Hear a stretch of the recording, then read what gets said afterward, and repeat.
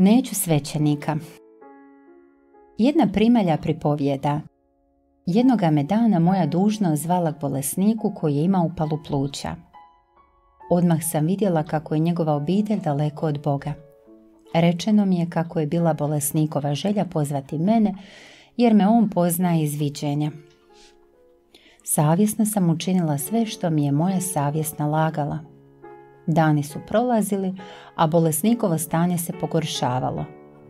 U subotu sam se preporučila Marinoj zaštiti i usudila se zapitati ne bi li smio doći svećenik u kratki posjet. Kako vi želite, sestro? Već je 16 godina kako sam se tako zanemario, premda sam crkveno vjenčan i dao sam svoje dijete krstiti. Recite svećeniku neka dođe, možda će mi onda biti bolje. Nažalost, bolesnik je vrlo loše primio svećenika, čak ga je uvrijedio. Kad sam došla vikao je, promijenio sam svoje mišljenje, neću svećenika, neću, sestro, gubite se. Tri sam sljedeća dana ipak dolazila iz poslušnosti prema svojoj poglavarici. Jednako me primao i jednako vrijeđao. Četvrti je dan bila srijeda. Otvorivši vrata, bolesnikova me majka upitala – vi još uvijek dolazite? Da, mogu li vidjeti bolesnika, odgovorila sam. Ako baš hoćete ostati pri svome, ali tu se ne može ništa više učiniti. Od ponoći u komi potpuno izgubio svijest i više ne govori. Nešto me stisnulo oko srca kad sam vidjela siromašnog umirućeg bolesnika. Oči su mu bile staklene, usta otvorena. Hroptao je. Klehnula sam kraj njega, uzela sam krunicu i počela glasno moliti. Kad je njegova žena počela protestirati, rekla sam joj kako ću ostati do kraja.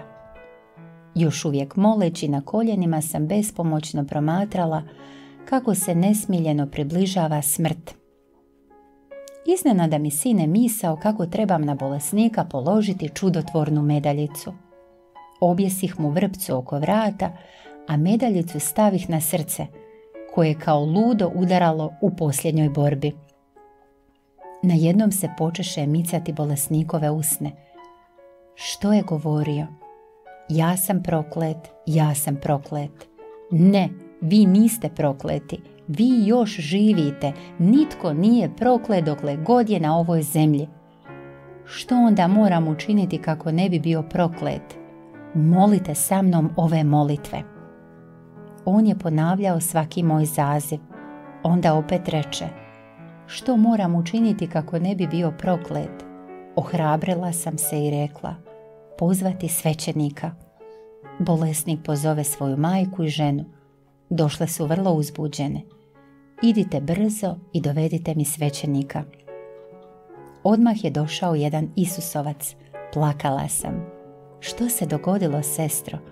O velečasni, to je bila presveta djevica. Ona je učinila čudo. Bio je već na umoru, a ona ga je probudila. Presveta djevica. Ali kako je to bilo sestro? Rekla sam mu sve kako je bilo. Ostavila sam svećenika sama s bolesnikom, otišla u kuhinju i molila se. Poslije duljeg vremena došao je dobri otac i rekao sa smješkom Idem po sveto ulje i svetu poputbinu bio je spreman. Nekoliko trenutaka kasnije umirući čovjek primio je svoga spasitelja, a sve toga je ulje ojačalo za put u vječnost. Kod zahvale upitao me bolesnik, znadem li pjesmu Isuse, u tebe se ufam. Odgovorila sam kako znam i zapjevala sam, a on se pridružio i pjevao i sve duše. Na to je opet nastupio san i koma. Ostala sam kod njega do posljednjeg daha. Dva sata kasnije usnuo je svoj vječni san.